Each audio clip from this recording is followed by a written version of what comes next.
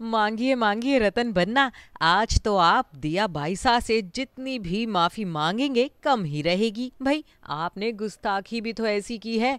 दिया और अभय की सगाई के दिन आप सगाई की अंगूठी लेकर ही रफू चक्कर हो गए और लौटे भी तब जब दूसरी अंगूठी से सगाई हो चुकी थी। भाई, ऐसे में दिया का आपसे रूठना तो बनता ही था। रतन बन्ना ने दिया को लाख समझाने की कोशिश की, माफ़ी मांगी कान भी पकड़े लेकिन दिया का गुस्सा कम होने का नाम ही नहीं ले रहा था।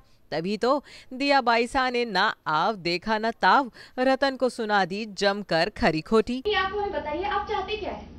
आप चाहते कि हम आपको अप्रिशिएट करें कि आपने इतने सारे एफर्ट्स दिए हमारी शादी के लिए?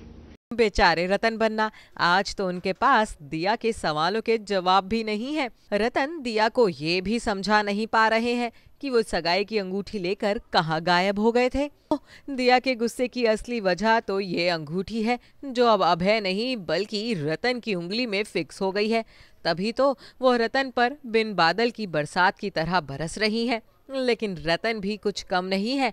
वो भी दिया को देते हैं करारा जवाब। खैर, इतनी तू तू मैं मैं करने के बाद रतन मान लेते हैं अपनी हार और दिया को वादा करते हैं कि वो मिशन दिया की शादी को पूरी ज़िम्मेदारी के साथ निभाएँगे। वेल, इसके बाद देखने को मिला दिया और रतन के बीच क्यूट सा मोमेंट वेल, ये दिया और रतन के बीच की दोस्ती है या इन दोनों की लव स्टोरी की शुरुआत? ये तो वक्त ही बताएगा।